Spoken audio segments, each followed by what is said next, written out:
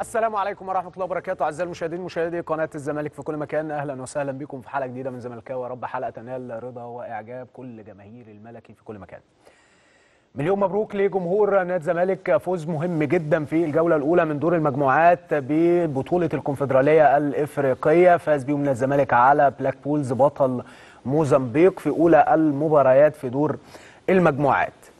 قبل ما نخوض في حديثنا عن هذه المباراة في البداية أرحب بالمحلل الرياضي اللي مشرفنا ومنورنا في حلقة النهاردة محمد نصر. يا محمد شرفنا ومنورنا. تسلم يا أحمد. أنا طبعا القناة منورة بيك و... وأنا سعيد إن أنا أكون معاك وسعيد إن أنا أكون في القناة آه، اللي بتحمل شعار آه، القلعة الأكبر في مصر وفي أفريقيا. منورنا ومشرفنا في البداية كده آه، فوز مهم جدا بيحمل الكثير من المعاني فوز معنوي وفني مهم جدا. صحيح في آه، غياب النهارده لبعض في بعض أوقات المباراة للتنظيم في المباراة لكن جوزيه جوميز قدر برغم الغيابات الكتير جدا عن الفريق النهارده إنه يحقق فوز مهم جدا جدا. كان مراهن على إيشو أحمد عبد الرحيم إيشو صاحب الهدف الأول والراجل ما كدبش خبر صحيح. ما كانش موفق في بداية المباراة لكن قدر يحرز هدف المباراة الأول قبل نهاية الشوط الأول. وفي الشوط الثاني مع بدايته قدر نبيل عماد دونجا يحرز هدف عالمي هدف الفوز وهدف التعزيز في هذه المباراة. أمور كتير جدا حدثت في هذه المباراة لكن آه، لعل أبرزها هو إصابة حمزة المسلوسي نجم دفاعات الزمالك اللي حابين نطمن كل جمهورنا عليه. حمزة المسلوسي وبعد التواصل مع الدكتور محمد أسامة رئيس الجهاز الطبي أبلغنا إن حمزة المسلوسي تعرض لكدمة في القفص الصدري وبكرة هيبقى فيه فحوصات من أجل الاطمئنان عليه. ده كان سبب آه، خروج حمزة المسلوسي. إن شاء الله بإذن الله تبقى سليمة يا حمزة. فوز في حاجات كتير جدا وفي كلام كتير جدا هنقوله ولكن هبدأ مع آه، ضيفنا اللي مشرفنا ومنورنا النهارده نصر. يا نصر شفت المباراة إزاي؟ فوزنا الزمالك بهدفين نظيفين في أولى مباريات دور المجموعات في الكونفدرالية. آه، طبعا هو آه، اولا مبروك لجمهور الزمالك ومبروك لمجلس إدارة نادي الزمالك آه، فوز مهم في آه، أولى مباريات ال- دوري المجموعات. والمباراة الأولى في دوري المجموعات أنت محتاج إن أنت تفوز آه، فيها علشان تبقى دفعه ليك في آه، باقي دوري المجموعات خاصة إن أنت فريق حامل البطولة فلازم تدخل بشخصية الزمالك بقوه الزمالك جاي تقول أنا بس أنا أنا جاي أتصدر المجموعة أنا جاي أفوز بالبطولة. آه، مباراة قدام فريق آه، نظريا تقدر تقول إن هو الأقل حظا في آه، من بين الفرق الأربعة سواء الزمالك أو المصري أو اليمبا النيجيري بس مباراة أنا شايفها صعوبتها في إن هي جاية بعد خسارة مباراة قدام فريق قوي زي المصري في الدوري العام وزي ما انت عارف ان المباراة اللي الثانية اللي اللي بتبقى بعد, خسارة المباراة بتبقى صعبة بتبقى شوية. بتبقى صعبة شوية انت خلي محتاج بالك برضو في عدم وجود الجمهور فده برضو أثر النقطة بشكل كبير ده جداً. النقطة الثانية الأهم اللي أنا اللي بتكلم فيها إن هي آه، دور الجمهور ده بيبقى رقم زي ما بيقولوا كده اللاعب رقم واحد صحيح. في في الملعب آه، إحنا شفنا دور الجمهور في البطولة اللي فاتت وكان ليه ال- الدور الدور الأعظم في فوز الزمالك بالبطولة ومين ينسى الماتش بتاع ألتاس فراري أنت طالع الش- الشوط الأولاني خسران 1-0 أنت محتاج آه، تفوز بأربع أهداف. صحيح. آه، الناس ممكن تفقد الأمل بس كان الدور الأعظم في ال في ال في ال في الماتش ده بالذات وفي البطولة عامة بصراحة دور دور الجمهور. وطبعا ده ما آه، طول آه، ط- آه، الجمهور الزمالك طول عمره مساند للفريق سواء في السراء أو في الضراء. النقطة الثالثة اللي بتكلم فيها اللي صعبت المباراة على الزمالك هو فوز فريق المصري آه، طبعا بنقول له ألف مبروك الن- النهاردة فوزه على فريق آه، أن- أنيمبا. آه، بس فوز المصري بيجبرك إن أنت تفوز في أول مباراة برضه خاصة إن أنت خارج لأنيمبا الماتش الجاي وبمستوى فريق الموزمبيقي اللي إحنا شفناه النهاردة يقول إن المصري احتمال كبير إن هو يفوز عليه الماتش الجاي. فكان مهم قوي إن أنت تفوز في أول آه، مباراة النهارده. فطبعا مبروك لجمهور نادي الزمالك الفوز في أول مباراة دوري المجموعات. طيب في البداية كده شفت التشكيل إزاي؟ تشكيل جوميز إيه اللي لفت انتباهك آه، في تشكيلة النهارده؟ أول أول حاجة لفتت انتباهي زي آه، لفتت انتباهه لفت آه، انتباه معظم الجمهور هو إن محمود بنتايج أساسي منذ انضمامه لنادي الزمالك. ولعب المباراة السوبر وعايز أقول لك إن محمود بنتايج قدم أوراق اعتماده من أول 10 دقائق مش هقول لك من المباراة كلها صحيح. ادى في في مباراة السوبر الافريقي قدام الأهلي اللي بالمناسبة النهارده يوم 27 ده عدى عدى شهرين كده على مباراة السوبر الافريقي فده ذكرى آه، طيبة المباراة. لجمهورنا الزمالك. طبعا طبعا.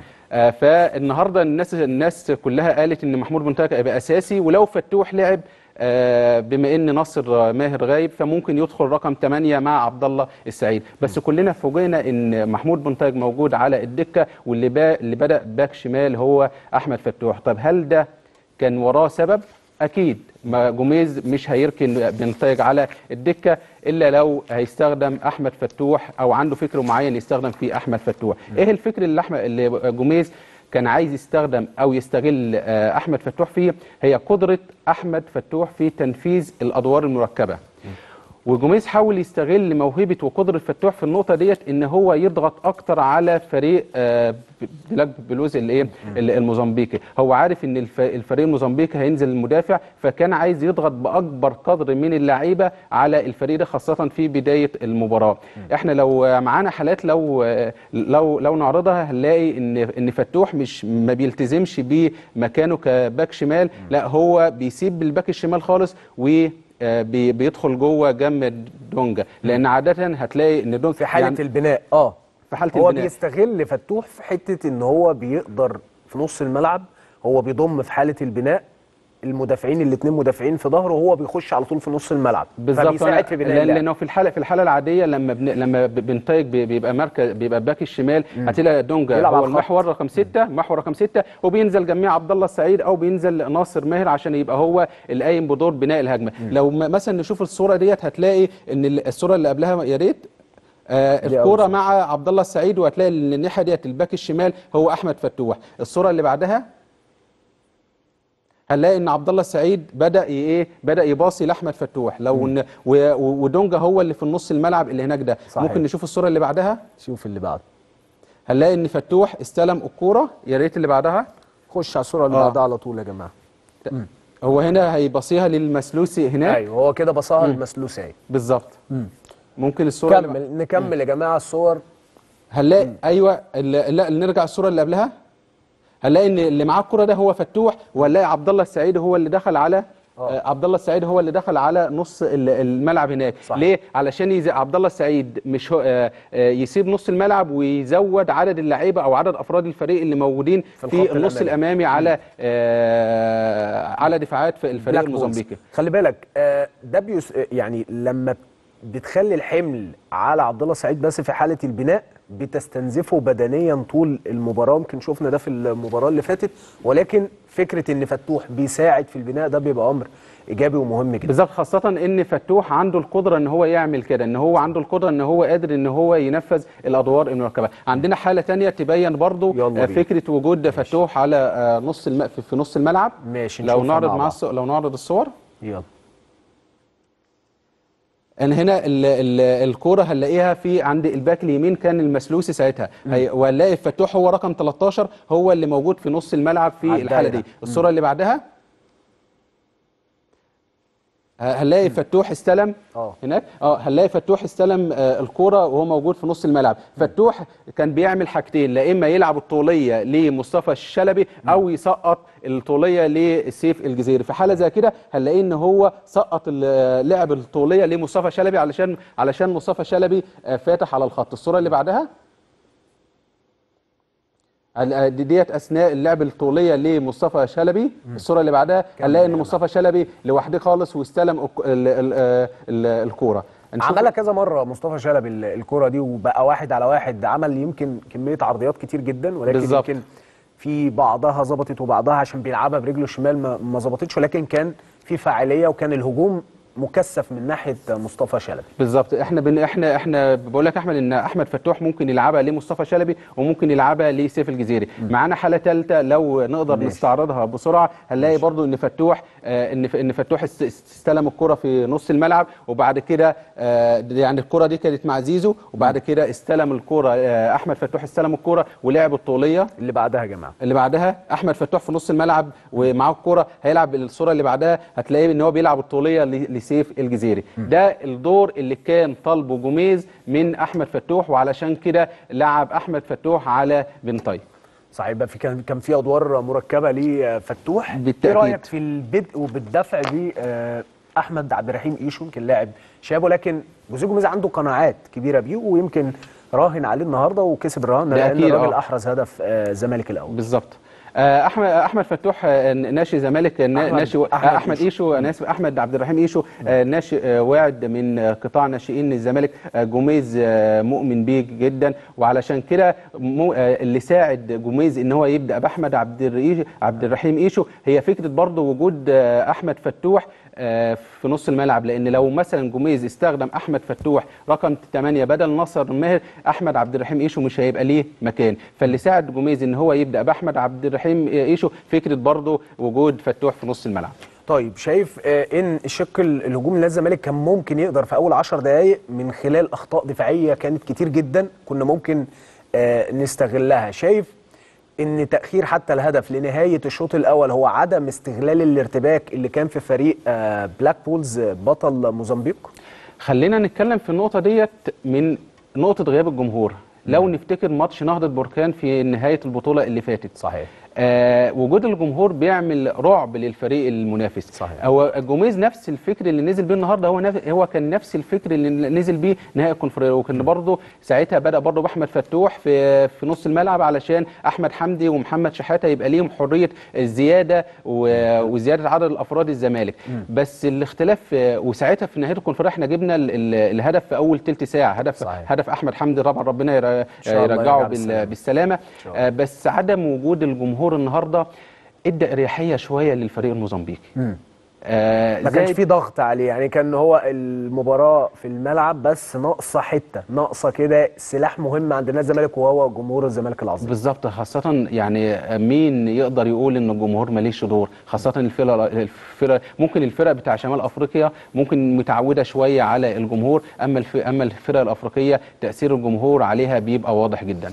طيب جوزيه جوميز أول فوز في ال- ال- الدور المجموعات. لما بنتكلم على السنة اللي فاتت بنتكلم على آه، الكونفدرالية الأخيرة اللي بطلها كان الزمالك.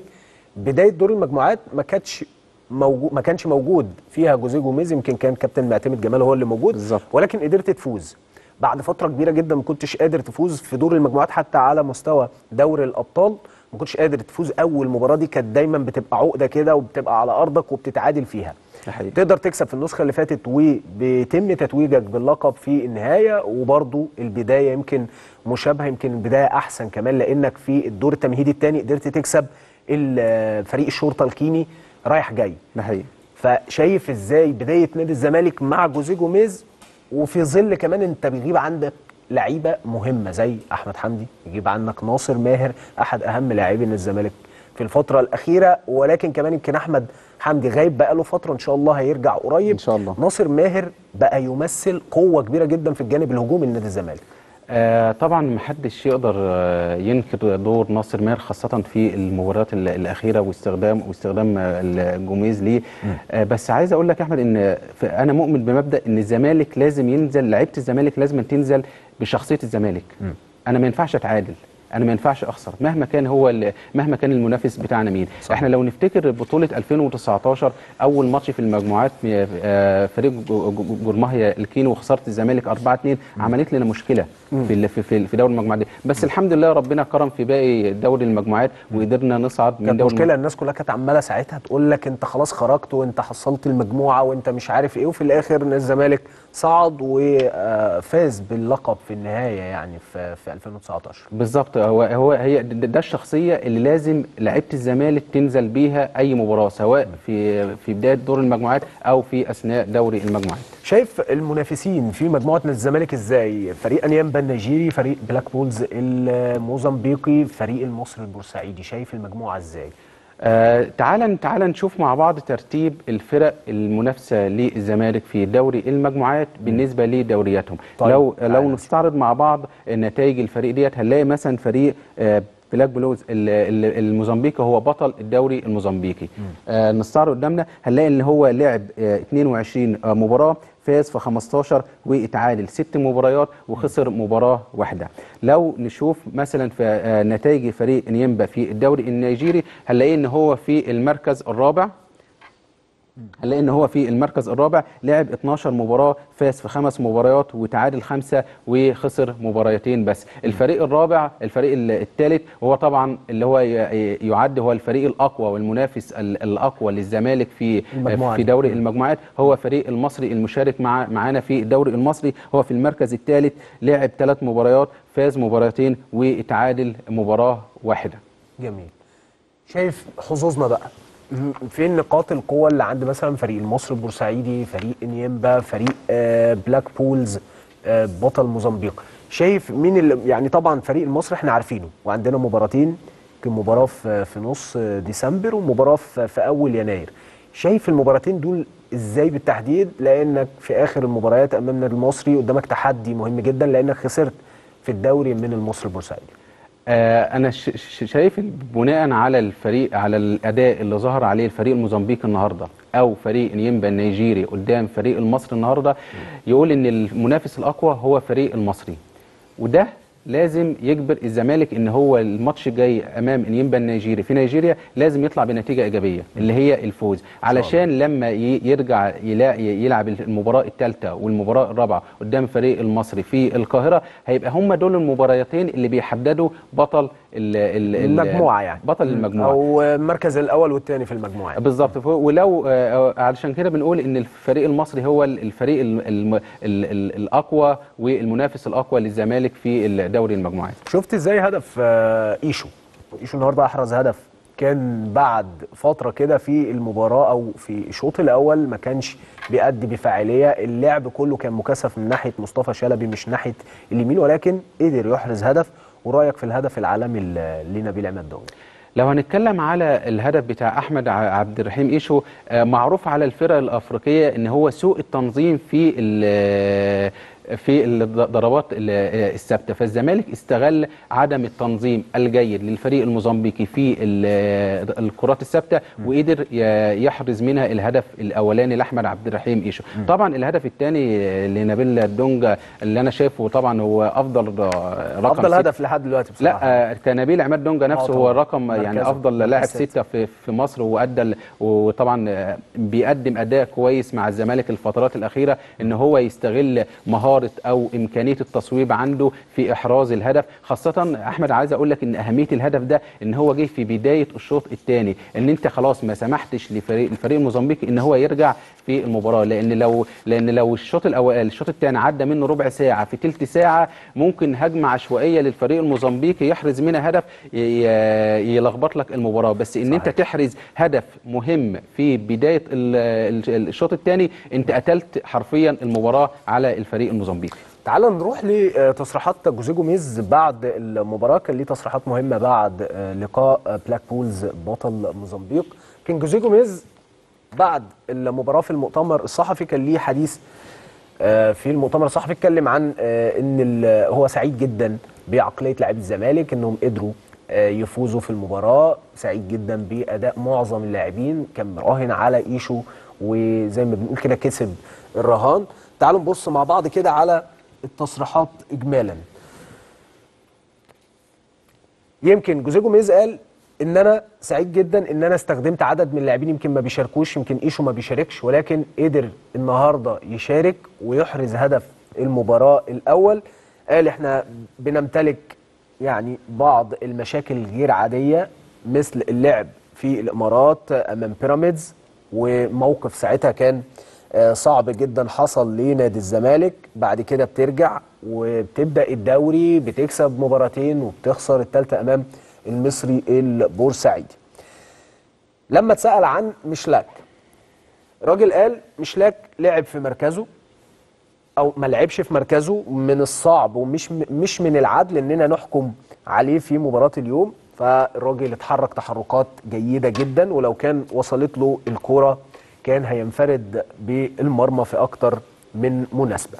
قال أنا راضي عن أداء كونراد النهارده واتكلم كمان عن وجود المصري. لما اتسأل قال له آه، اتسأل عن النادي المصري وهو نادي مصري بيلعب مع الزمالك في نفس المجموعة قال هو أمر إيجابي لأننا هنلعب في مصر السلبي إنهم فريق قوي ولازم نحترمه بشكل كبير جدا وهيتوخى الحذر أكيد في مباراتي النادي المصري في منتصف ديسمبر وفي أول يناير.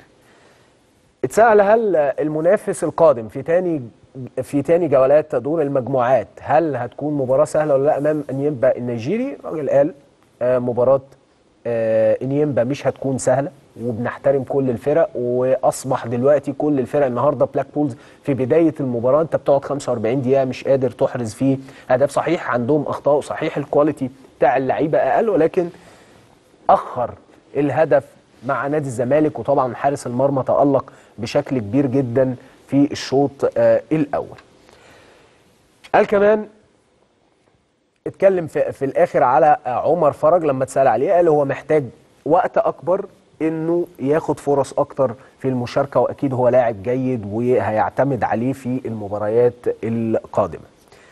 نروح لتصريحات مدرب بلاك بولز بطل موزمبيق.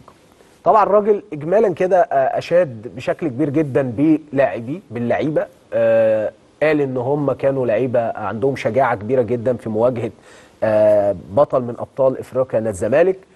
ولكن الأمر الآخر كمان اللي اتكلم فيه بإيجابية قال إن نادي الزمالك فريق كبير جدا واستحق الفوز على مباراته. يمكن دي أبرز تصريحات مدرب بلاك بولز ومدرب نادي الزمالك جوزيه جوميز. تعال نتكلم عن قائمة نادي الزمالك. انت بتتكلم على قائمة نادي الزمالك في النسخة اللي فاتت وفي بعض الفروق وفي خروج للاعبين وفي انضمام لبعض اللاعبين. شايف إزاي آه، نادي الزمالك؟ وشايف كمان إيه اللي محتاجه نادي الزمالك في بعض المراكز؟ طب آه، خلينا يا أحمد عشان نتكلم على القائمة خلينا نتكلم الأول على مواعيد مباريات الزمالك في تعال. باقي دوري المجموعات. لو. الماتش الجاي اللي الزمالك خارج لانيمبا في نيجيريا يوم 8 ديسمبر. جميل. الجولة الثالثة الزمالك هيلاعب المصري يوم 15 ديسمبر. الجولة الرابعة مع المصري يوم 5 يناير. وطبعا ده الجدول المعروض قدامنا على الشاشة. الجولة الخامسة الزمالك آه هي- هي- هيخرج لبلاك بولز الموزمبيقي يوم 12 يناير. والجولة السادسة بلاك بولز ال- ال- الموزمبيقي الجولة السادسة الزمالك هيخرج آه، الزمالك هيستضيف إنيمبا النيجيري يوم 19 يناير. أنا ليه بعرض مواعيد مباريات الزمالك علشان أتكلم إن الزمالك هيلعب ثلاث مباريات بعد آه، في- شهر يناير. يعني بعد إن هو يكون عنده القدرة في إضافة اللعيبة. لو نقدر نستعرض مع بعض قائمة نادي الزمالك وخلينا نقارن بين قائمة نادي الزمالك 24 24 اللي نهت البطولة اللي اللي فاتت وقائمة الزمالك 2025 اللي هيكمل بيها ال- البطولة الحالية. يلا لو. هنتكلم مثلا على حراسة المرمى هنلاقي إن في 2024 كان موجود محمد عواد ومحمد صبحي ومعاذ علاء وعبد الرحمن نفاد. أما حراسة المرمى 2025 هنلاقي فيها إن محمد صبحي ومحمد عواد ونضاف عليهم محمود الشناوي وعمر عبد العزيز. لو هتيجي تقارن ما بين الاثنين هتلاقي إن مفيش فرق بينهم خاصة إن اللي بيلعب أساسي هو محمد صبحي ومحمد عواد. لو نخش على خط الدفاع هنلاقي كان موجود في خط في خط دفاع الزمالك في قائمة 2024 حمزة المسلوسي وعمر جابر وحسام عبد المجيد ومحمود حمدي الونش ومصطفى الزناري وأحمد فتوح. ومن اللعيبة اللي كانت موجودة في 2024 وخرجت محمود علاء وياسر حمد ومحمد عبد الشافي. أما قائمة آه، 25 اضاف عليهم أحمد مجدي وحسن أبو المعاطي ومحمود بنتايج ومحمد حمدي وأحمد محمود كوستا كوستا. اللي تأيد تحت السن لو هنتكلم مثلا على خط الدفاع هنلاقي إن الزمالك دعم. اتكلمنا كده عن خط الدفاع نتكلم بقى عن خط الوسط. تمام. خط خط الوسط هنلاقي فيه إن موجود فيه عماد آه، نبيل عماد ومحمد شحاتة وزياد كمال وأحمد حمدي وأحمد مصطفى زيزو ومصطفى شلبي ومحمود عبد الرازق شيكابالا ومحمد عاطف واللي كانوا موجودين بس ما دخلوش القائمه الأفريقية مهاب ياسر واللي رحلوا محمد أشرف آه، رؤى ويوسف أوباما وسير عبد الله ومتيابة وإبراهيم آه، نضاي. اتضاف على الأسماء اللي موجودة في القائمه الحالية اتضاف عليهم محمد السيد أحمد عبد الرحيم إيشو وعبد الله السعيد اللي كان موجود. عبد الله السعيد اللي كان موجود من الموسم اللي فات بس نظرا لاشتراكه لاشتراكه في آه، مع فريق بيراميدز فما شاركش مع الزمالك في آه، البطولة اللي فاتت. بالإضافة إلى ناصر ماهر ومشلاك لو هنبص على خط الهجوم هنلاقي كان موجود ناصر منسي وسيف الدين الجزيري وس- وسامسون ونضاف عليهم حسام أشرف وعمر فرج وسيد نار لو هن هل هنقول ملخص الفرق ما بين قائمة 2024 و 2025 هنلاقي إن الزمالك في حاجة آه، كبيرة إلى وجود مدافع. خاصة إن آه، محمود حمدي ال- ال- الونش مصاب ولسه بيجهز إن هو يرجع. وما عندناش إلا حسام عبد المجيد وحمزة المسلوسي اللي هو أصلا كان آه، back يمين بس نظرا للنقص العددي في ال third back ات بتاع الزمالك. ومعاك مصطفى الزناري طبعا. وطبعا مصطفى الزناري بس ده- ده ما بيشاركش باستمرار يعني. أنت بتتكلم على اللي بيشاركوا باستمرار حمزة المسلوسي وحسام عبد المجيد. وحسام عبد المجيد. بس ده طبعا يستدعي للتعاقد مع لأن آه، عندنا منافسات كتير طبعا. ده أكيد يعني نظرا نظرا فريق. زي الزمالك بيشا- بيشارك في بطولة الدوري وبيشارك في البطولات الأفريقية وبيشارك في كاس مصر وعندك ماتش السوبر المصري وإن شاء الله بعد الحصول على البطولة الأفريقية نشارك في السوبر الأفريقي.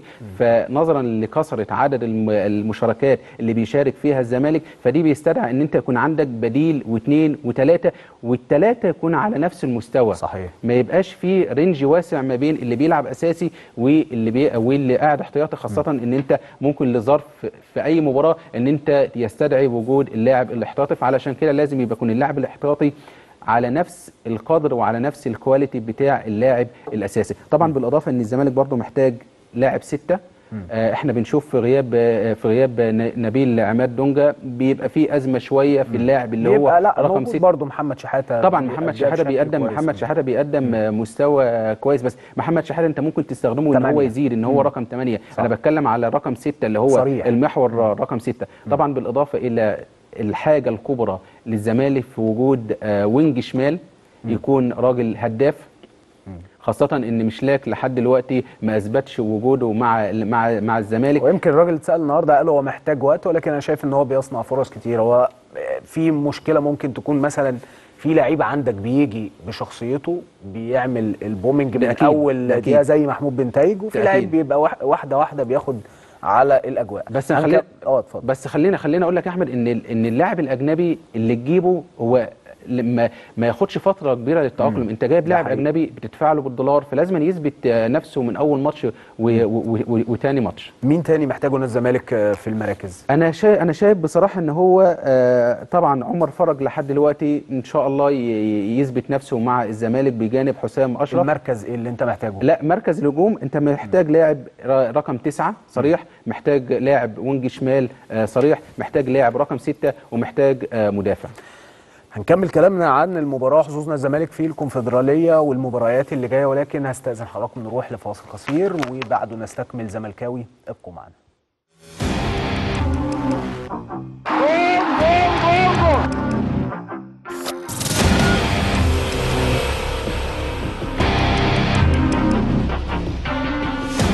هو من لا يختلف اثنان على موهبته الفذة في عالم كرة القدم. فتلاعب بالمنافسين كيفما شاء داخل المستطيل الأخضر لتلقبه جماهير الزمالك بالحاوي. هو النجم حمادة عبد اللطيف حمادة عبد اللطيف من مواليد عام 1963 وتألق بقميص فريق الناشئين بنادي الزمالك وهو دون الرابعة عشر من عمره قبل أن يكتب شهادة ميلاده الكروية مع الفريق الأول بداية من عام 1982 مع المدير الفني اليوغوسلافي فيزوفيتش. ويبزغ نجمه بشدة في سماء ميت عقبة رفقة النجوم الكبار في ذلك الجيل.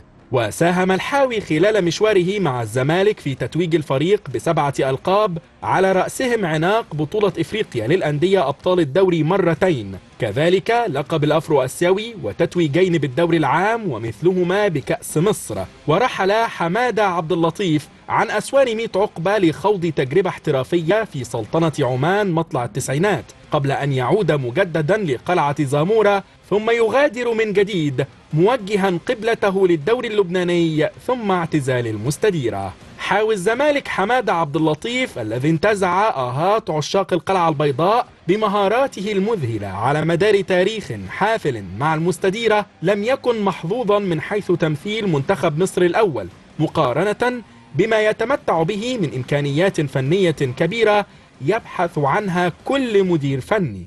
حيث كان غياب الحاوي عن تمثيل الفراعنة في مونديال 90 علامة استفهام كبرى لم يجد لها أحد إجابة. الزمالك كان ولا زال وسيظل قلعة رياضية عريقة في مصر والوطن العربي تحتضن أصحاب الذوق الراقي والرفيع في عالم الفن والثقافة وتحتوي وتساند المواهب العربية بمختلف أشكالها.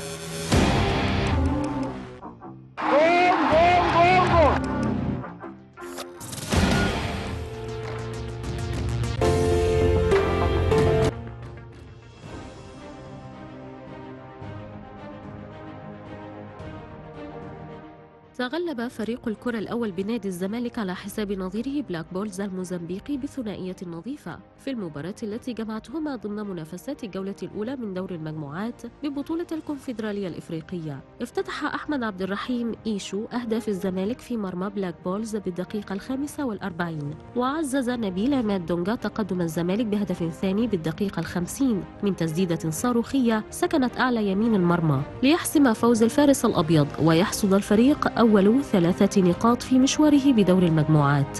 بهذا الفوز يتصدر الزمالك ترتيب المجموعة الرابعة برصيد ثلاث نقاط متساويا مع المصري البورسعيدي بينما بقي رصيد بلاك بولز وأنيمبا النيجيري خاليا من النقاط. وسيواجه الزمالك نظيره أنيمبا النيجيري في الجولة الثانية من دور المجموعات بالكونفدرالية يوم الثامن من ديسمبر المقبل في نيجيريا. الزمالك يفتتح مشواره في مجموعات الكونفدرالية بانتصار ثمين. قاطعا أولى خطوات رحلة الدفاع عن لقبه القاري.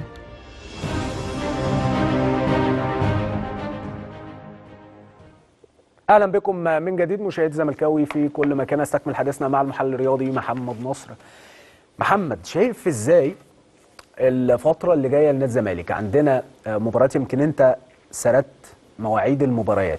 شايف مثلا قبل نهاية المباراة عندنا مباريات إزاي على الصعيد المحلي وعلى الصعيد الكونفدرالي؟ آه عايز أقول لك أحمد إن إحنا آه آه الزمالك لعب ثلاث مباريات في بطولة الدوري العام فاز بمباريتين وخسر المباراة الأخيرة قدام فريق المصري بالإضافة إن هو بدأ بداية دوري المجموعات النهارده وهيلعب مباراتين كمان قبل النهاية. الزمالك دايما أنا عندي مبدأ في إن هو ياخد مباراة بمباراة. يعني النهارده لاعب الفريق الموزمبيقي فاز يقفل. عندنا أي. المباراة اللي جاية مع المحلة يبقى كل تركيزنا على الف... فريق المحلة. على فريق المحلة خاصة م. إن أنت ممكن تلعب في مباراة في الدوري العام وبعد كده ترجع لأفريقيا وبعد كده ترجع للدوري العام فمهم قوي إن أنت ما تشتتش في نفسك. خد مباراة كل مباراة على حدة ركز في كل مباراة لوحدها فوز بيها اقفل عليها ركز على اللي بعده اللي بعده خاصة إن الفريق السنة دي بما إن هو حامل بطولة الكونفدرالية السنة اللي فاتت فمهم قوي إن هو يفوز بيها السنة دي. بالإضافة إن هو لازم يبقى المنافس الأقوى بل إن هو يحارب على بطولة الدوري العام. آه فوزك ببطولة الدوري العام بالإضافة إلى فوزك ببطولة الكونفدرالية أعتقد إن هو هيبقى ده التارجت بتاع فريق نادي الزمالك ومجلس إدارة نادي الزمالك وبالتالي جمهور نادي الزمالك. شايف إزاي تجربة جوميز مع نادي الزمالك؟ من بدايتها؟ لحد النهارده إزاي شايف آه إدارة جوزيه جوميز الفنية مع نادي الزمالك؟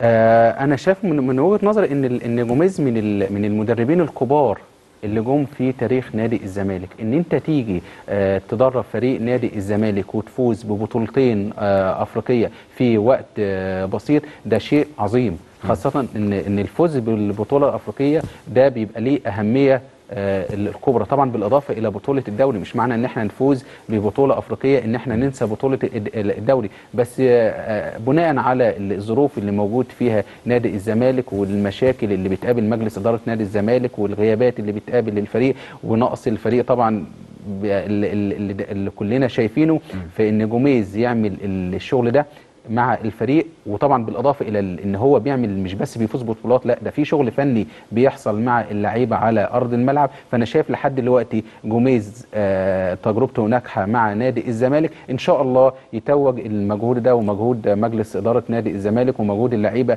بالفوز بالبطولات في نهاية الموسم علشان يكتمل ال- النجاح بشكل عام إن شاء الله.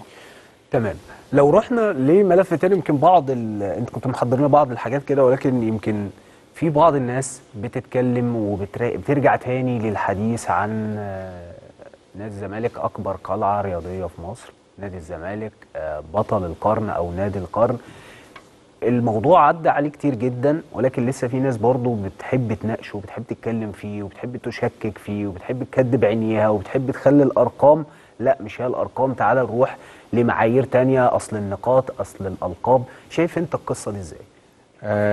طبعا بالنسبة لنقطة آه، الزمالك أكبر قلعه رياضيه في مصر اللي أطلقها رئيس نادي الزمالك هو بيقول الزمالك أكبر قلعه رياضيه في مصر. أنت إيه اللي مزعلك. هو بيقول على الزمالك هو جاب سيرة فريق تاني؟ جاب سيرة آه، النادي تاني هو ما جا- ما جاش ناحية. هو بيقول على الزمالك أكبر في, في أكبر قلعة رياضية في مصر. قول على نفسك زي ما تقول.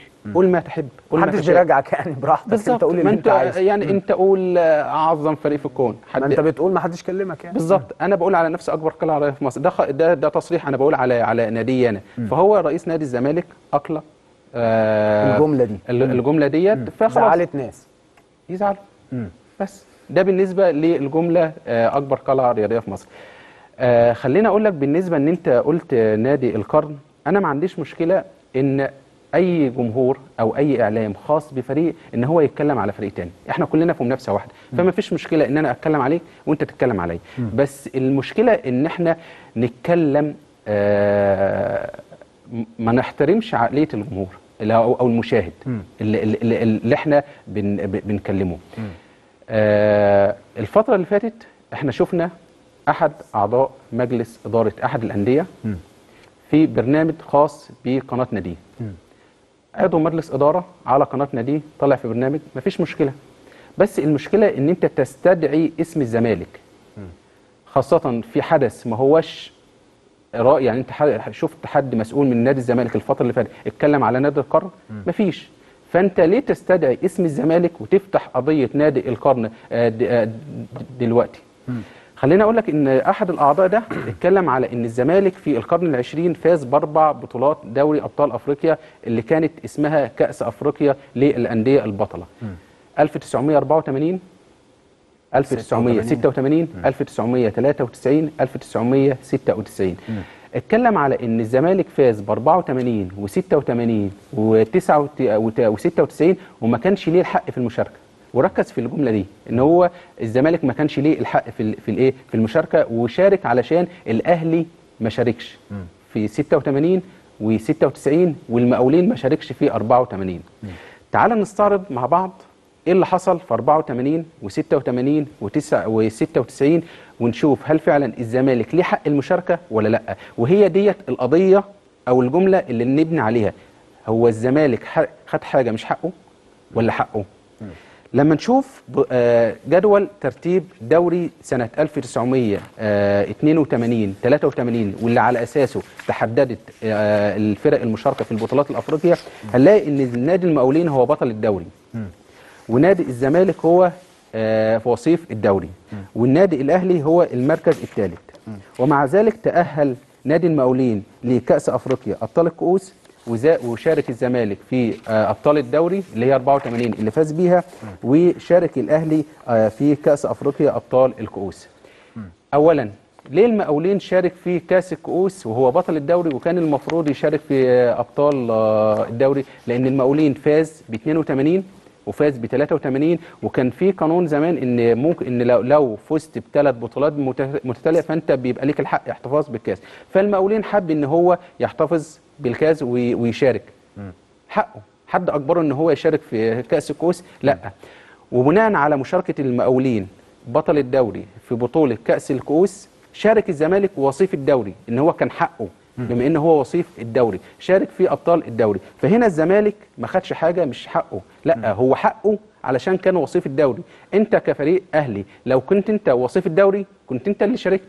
بس بما إن الزمالك هو اللي كان وصيف الدوري فمن حقه إن هو يشارك في أبطال الدوري آه، سنة 1984 والزمالك قدر بمجهوده يفوز بالبطولة ديت. صحيح. البطولة الثانية سنة 1986 تعال نشوف إيه اللي حصل.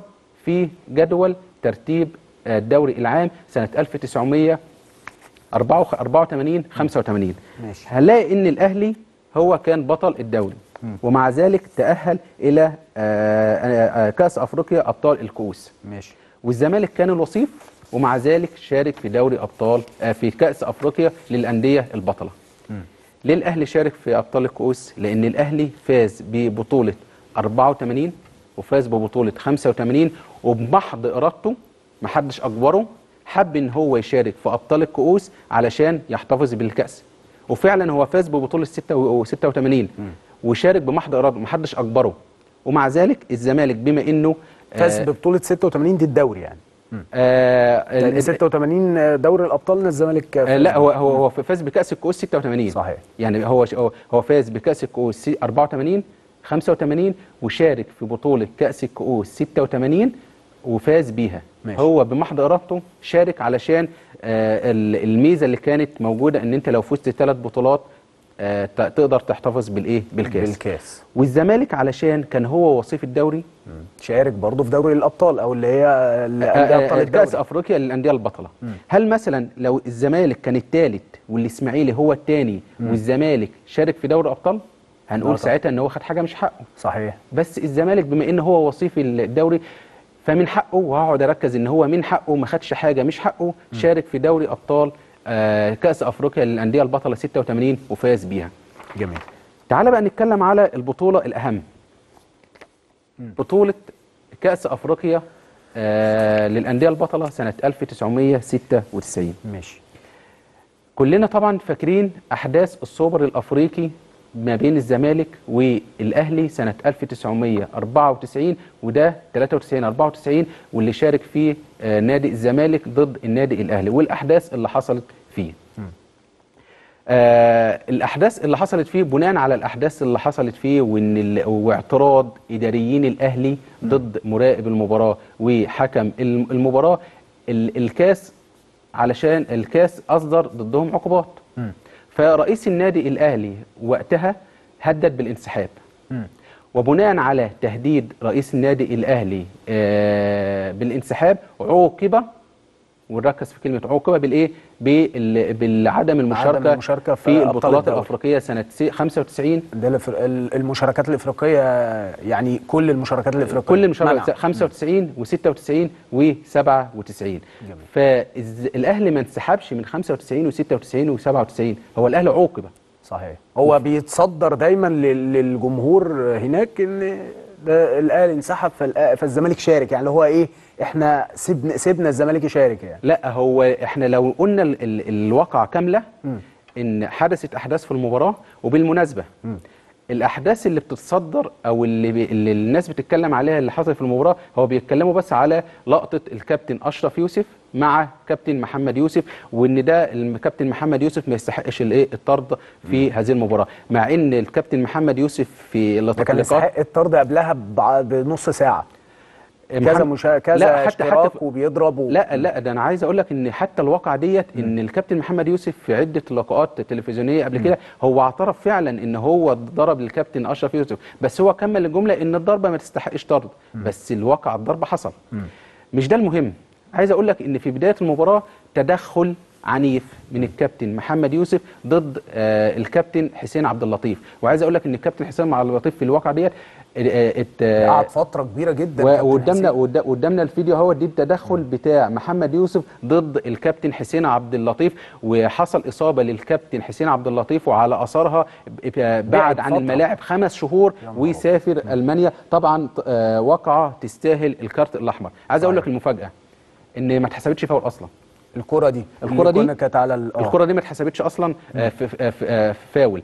وعايز أقول لك إن الكابتن محمد يوسف بعد مباراة السوبر الأفريقي بين الأهلي والزمالك الأخيرة ديت كان موجود على أحد القنوات بعد ال- بعد المباراة واعترف بنفسه إن آه فعلا إن كان في تدخل مني ضد الكابتن حسين عبد اللطيف وما حسبش فاول.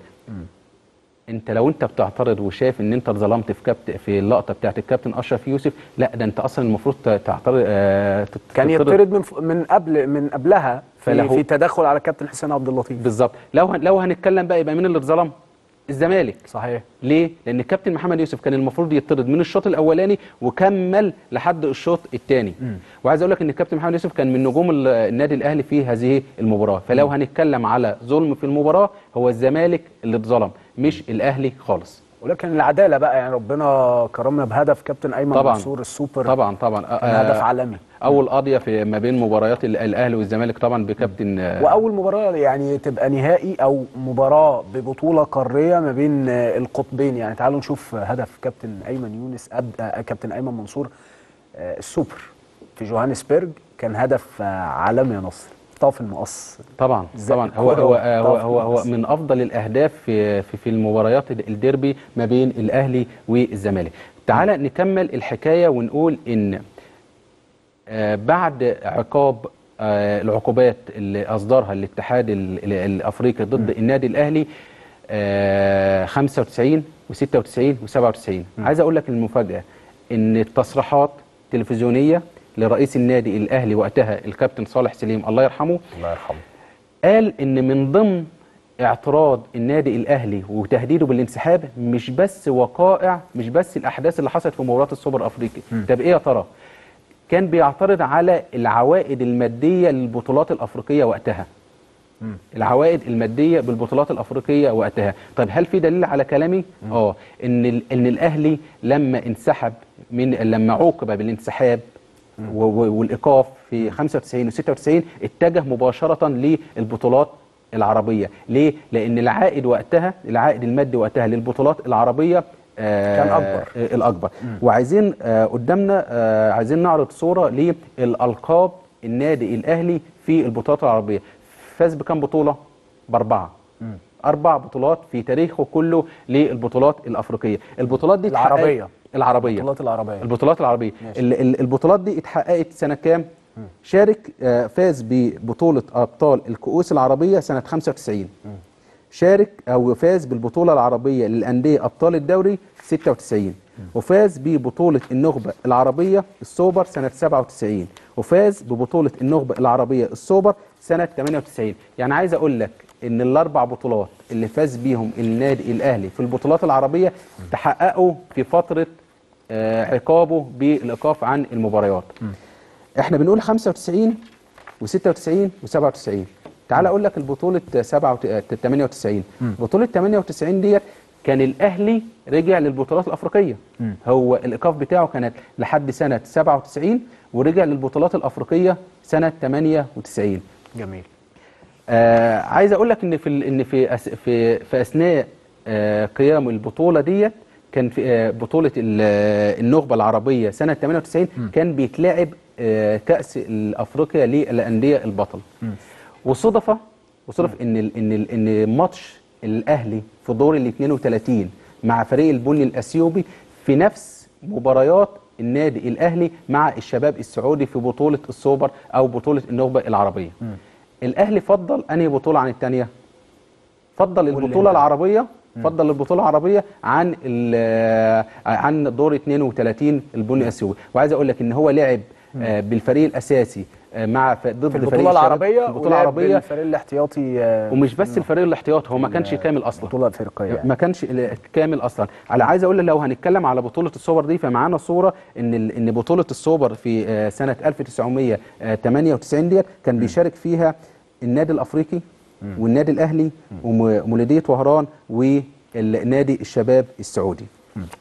والصورة اللي بعدها هي صورة من موقع ال ال الأهلي بي بيقول فيها إن آخر مشاركة للأهلي في البطولات العربية لو هنستعرض الصورة اللي بعدها إن آخر مشاركة للأهلي في البطولة العربية سنة 1998 واللي حقق فيها اللقب تمام؟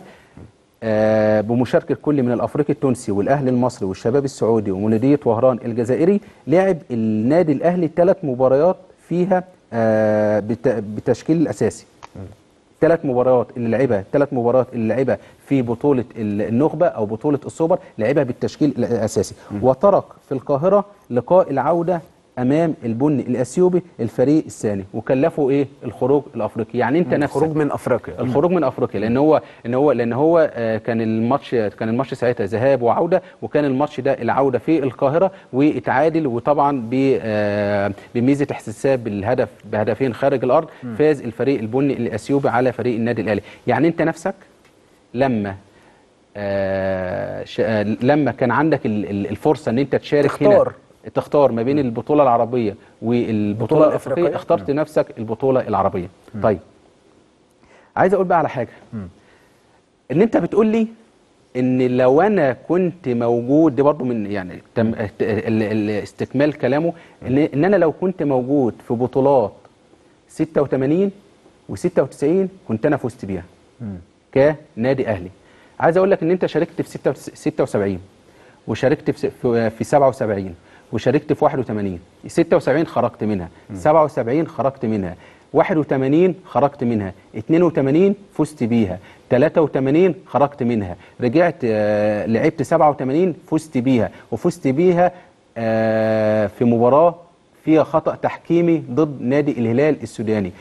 لعبت 88 خ- آه، خرجت منها. لعبت 90 خرجت منها. لعبت 91 خرجت منها. رجعت لعبت 98 خرجت منها. لعبت 99 خرجت منها. لعبت 2000 خرجت منها. يعني إزاي بتقول إن أنا لو شاركت مكان الزمالك كنت فزت بيها وأنت أصلا في تاريخ في تاريخ مشاركاتك في البطولات الأفريقية؟ في القرن اللي فات. في القرن اللي فات من سنة 96 76 ده أول مشاركة ليك لسنة 2000 أنت شاركت في 12 مباراة فزت باثنين بس. شاركت في 12 بطولة في 12 فزت بطولة. باتنين. فزت باثنين بس. منهم بطولة ضد نادي الهلال السوداني. وبالمناسبة حارس الأهلي ساعتها كان هو آه، المذيع بتاع اللقاء اللي حصل فيه الكلام ده. صحيح. وبالمناسبة المذيع ده هو فاز بال... ده البطولة الوحيدة اللي الأفريقية اللي فاز بيها كدوري أبطال وفاز بيها ك... بخطأ آه... تحكيمي. فاحنا نحمد ربنا أصلا ان الزمالك شارك في 84 و96 و... أو 86 و96 وشارك عن جدارة شارك عشان ده حقه إنه يشارك. وده اللي إحنا وده اللي أنا عايز اثبته النهارده إن الزمالك ما خدش حاجة مش حقه. هو الزمالك خد حقه. فكرة بقى إن أنت مثلا بيروج للجمهور يعني أفكار الناس مش هتراجع وراه بس إحنا بنراجع والمستندات موجودة. وده دورنا. ده دورنا. إحنا إعلام زمالك في قناة نادي الزمالك دورنا الأساسي هو الدفاع آه، عن نادي الزمالك. طالما طالما بنتكلم بالعقل والمنطق فده دورنا وده الواجب اللي إحنا نعمله. الزمالك ما شاركش وما خدش حاجة مش من حقه. ومحدش أجبرك على حاجة أنت عملتها. أنت لو أنت تركت كأس أفريقيا للأندية البطلة وشاركت في كأس الكؤوس علشان تحتفظ بالبطولة الثالثه على التوالي فده حقك. اللي يحصل بعد كده ده مش بتاعك. صحيح. اللي يحصل بعد كده أنت أنت خلاص أنت خدت دورك. اللي يحصل بعد كده ده مش بتاعك. الزمالك فاز بتعبه ومجهوده وإصراره فاز بالبطولة فده حق الزمالك. نصر. شرفتني ونورتني. سعيد جدا بوجودك معانا. لأول مرة إن شاء الله مش تبقى الأخيرة. آه، مبروك لنا الزمالك النهاردة بداية قوية جدا. سعيد جدا بوجودك معانا. آه تسمح لي في جملة أخيرة أقولها في نص دقيقة. آه أحد المسؤولين آه في في الأندية كان شغال مدير كورة والوقت بنشوفه على ال- الشاشات. اتفضل. آه بقاله كذا يوم كده أو آه بيطلع على شاشة كل همه الشاغل هو تجديد زيزو. آه زيزو آه هيبوظ أوضة اللبس. زيزو ما يستحقش 100 مليون. آه هو خلي بالك الرقم ده يعني فرقعة أصل كده مش- مش موجود. مش موجود ومحدش قاله. يعني هو رقم بيتفرقع كده عشان يهيج الرأي العام الكروي يعني. بالظبط. آه من كتر كلامه على آه زيزو هو هو هو شككني إن هو فعلا عايز مصلحة الزمالك. فأنا عايز عايز أقول لك ان إن موضوع تجديد زيزو هو كل اللي آه اللي, اللي يهتم بالموضوع ده. زيزو المدير الفني رئيس نادي الزمالك. وجمهور نادي الزمالك. هم دول بس المفروض يهتموا ب آه بأمر تجديد زيزو. آه أخيرا أنا كنت سعيد إن أنا كنت معاك ويا رب يكون قدمنا حلقة لطيفة. آه. وطبعا هختم كلامي بالجملة اللي بيختمها رئيس نادي الزمالك دايما. آه عاش نادي الزمالك أكبر قلعة رياضية في مصر. شرفتنا ونورتنا. انتهت حلقتنا من زملكاوي على اللقاء إن شاء الله في حلقة جديدة من زملكاوي. إلى اللقاء.